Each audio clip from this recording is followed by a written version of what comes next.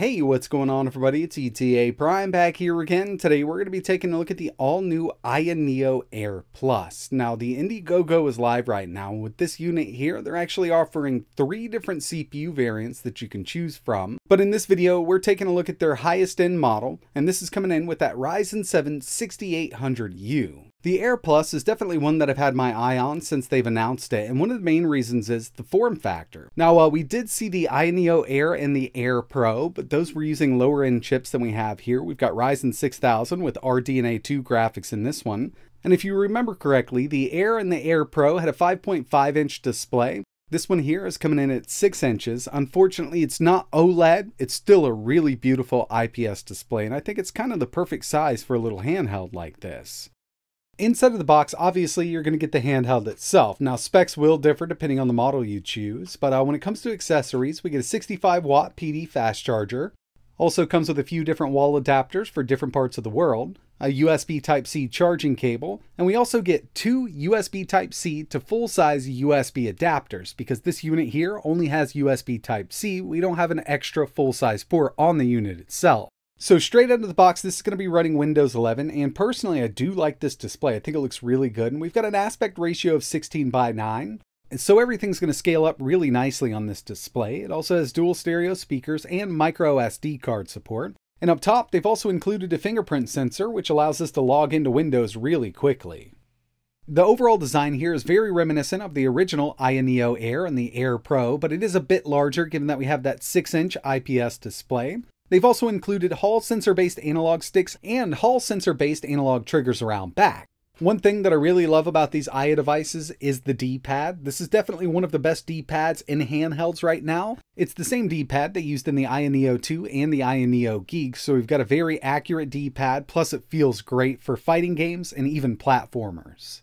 Now, like I mentioned, they are offering a few different variants of this when it comes to the Aya Neo Air Plus, and the one we're taking a look at is the highest end model with the 6800U, but they have two other models, well actually three other models. You can opt to pick one up with the AMD Mendocino chip, the 7320U or the 7520U, and they're also offering an Intel variant with the i3-1215U. Now there are some differences between all three of the models, but just keep in mind the 6800U version will be the highest end. Before we go any further with this unit, I did want to give you a quick size comparison with some of the other more popular handhelds on the market right now. So first up, we've got the Aya Neo Air Plus versus the Aya Neo Air Pro. As you can see, they're very similarly sized, but when it comes to that Aya Neo Air Pro, we get a 5.5 inch OLED display instead of the 6 inch IPS on the new Plus.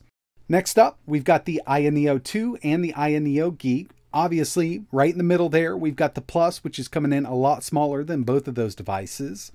And finally, the Steam Deck, which is definitely one of the larger handhelds on the market right now, but you really can't beat the price versus the performance of the Steam Deck, and that's one thing that a lot of companies just can't match right now. But I still wanted to show you a size comparison here, just to give you an idea of how portable the Plus really is. But for being such a compact and small form factor handheld, they sure have packed a lot of tech in here because when it comes to the APU, we've got the AMD Ryzen 6800U. 8 cores, 16 threads, a base clock of 2.7 GHz with a boost up to 4.7. You can opt for either 16 or 32 gigabytes of RAM with this, but both of them are going to be using LPDDR5 running at 6400 MHz. Also have some storage options here, 512, 1 terabyte, 2 terabyte, and the Plus actually utilizes an M.2 2280 double-sided SSD, so you can actually go up to 8 terabytes on your own if you wanted to upgrade this. We've also got micro SD card support, a 6-inch IPS display at 1920 by 1080 with a 16 by 9 aspect ratio, it's 100% sRGB, 85% DCI-P3, and 400 nits of brightness here. It looks really good. Two USB 4 ports, a fingerprint sensor, Hall sensor sticks and triggers. It's got Wi-Fi 6, Bluetooth 5.2, and we've got a 46.2 watt hour battery with 65 watt PD quick charging capabilities. I mean, this is actually a pretty big battery given the form factor of this unit. And yeah, out of the box, this is running Windows 11, but Aya Neo is working on Aya OS, which is based on Linux. It's going to be an awesome Linux distro, and as soon as I can get my hands on it, I will be testing it on a few of their devices. But with Windows here, we do have access to their Aya space, which comes in really handy for these devices. From here, we've got a lot of tweaking and tuning that we can do with the APU here, like changing the TDP. We've got a few different presets. And by the way, this will go up to 28 watts. The built-in cooler here is rated for 28 watts on the 6800U, and it'll definitely handle it. And along with Aya Space, we've also got their game launcher, which is pretty cool. It does scrape the metadata for you. It'll automatically scan your games. And with this, we can set up a per game configuration so we can change the TDP as soon as we start the game up. But one thing that's really awesome here, we don't see in a lot of other handhelds on the market, is just kind of a dedicated device manager. From here, we can go in and fully adjust the analog sticks, the triggers, we can adjust the RGB, we can set the dead zones, you can change up the vibration or the haptics feedback here. And uh, yeah, I mean, this comes in really handy for totally customizing everything on the device. And if we back up, we've got a few more settings that we can mess around with, like our extra buttons, which are kind of not visible. But up top on the unit, we've actually got two extra kind of shoulder buttons here. They're kind of built into the frame, it seems like, but they work out well and we can fully customize them. Plus, RGB around the analog sticks can be customized also. You can also set them up to go off at a certain time, so that way when you're playing in bed at night, you won't have those shining in your eye. But yeah, I think they've done a great job with the Aya Space over the last year, and it's only getting better and better. Because they recently released a few mini apps, and my favorite here is known as Smart TDP. Really easy to download through Aya Space.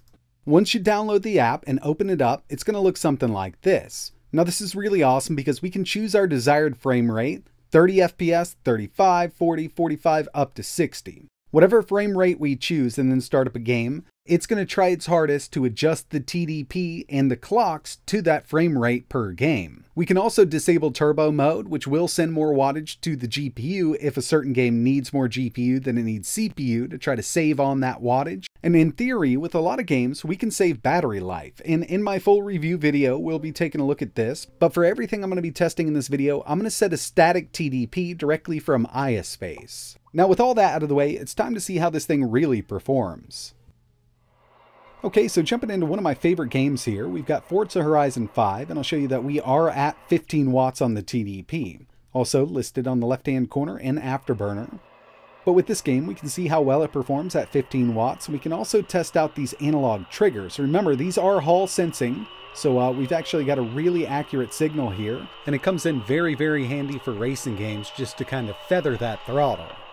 I personally use this a lot when I'm drifting in my favorite racing games, and another thing it's great for is just launch control. But it does feel really good here. And uh, we can run this game at a very high frame rate given what we have here, only at 15 watts. Remember, 1080p medium settings. We're averaging 81 FPS, 1080p medium settings, and it does look great on the 6-inch IPS display.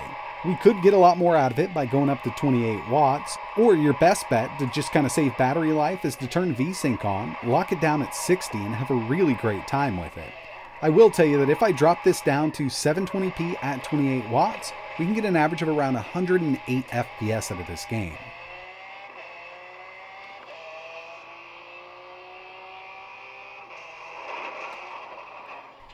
Next up, we've got Cyberpunk 2077, and with this I did go up to 20 watts, so I'm just using the preset, we're not using the auto TDP setting or anything like that.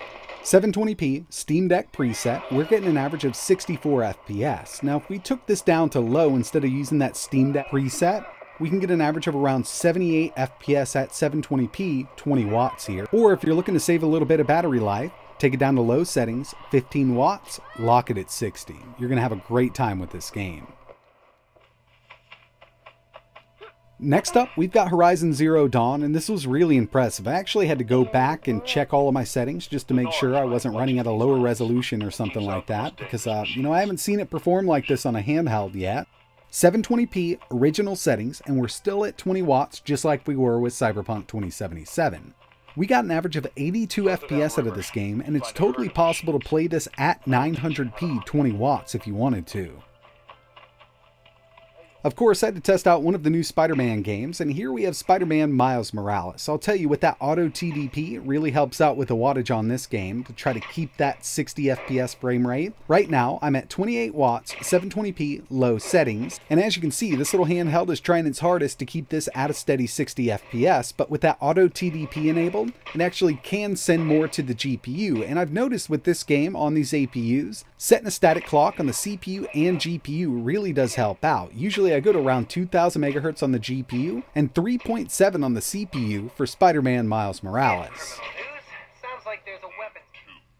I also wanted to test at least one fighting game, so I went with Mortal Kombat 11, 1080p medium settings, running at 60. This is one of those games that's going to perform really well on this APU at a higher wattage. Now we could go down to low settings, 60 FPS, 15 watts if you wanted to, but at medium, I think it looks great on this display and it runs amazingly.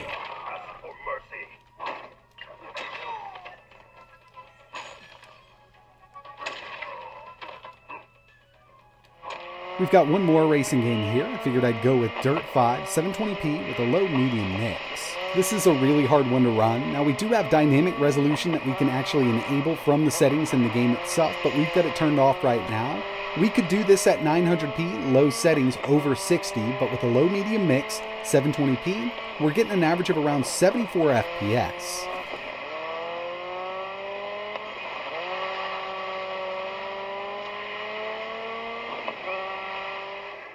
And finally, we've got God of War, 720p original settings, and I am at 28 watts. This is one of those games that's really hard to run on these APUs. In fact, the only one I've ever been able to get it to run at full speed or over 60 FPS on is the 6900HX at about 65 watts. We're not going to go up to 65 watts with this to keep those clocks up on the GPU and CPU to save battery life, but it's really, really close here. Alright, so first impressions here, loving the form factor. Got a beautiful screen, definitely not as nice as something like we have in the Geek or the Aya Neo 2, but it's getting real close, and for a smaller form factor unit, I think it's a really great size. These stereo speakers do sound really good. I'm glad they kind of did a little bit of an upgrade there. Uh, got plenty of sound coming out of this thing.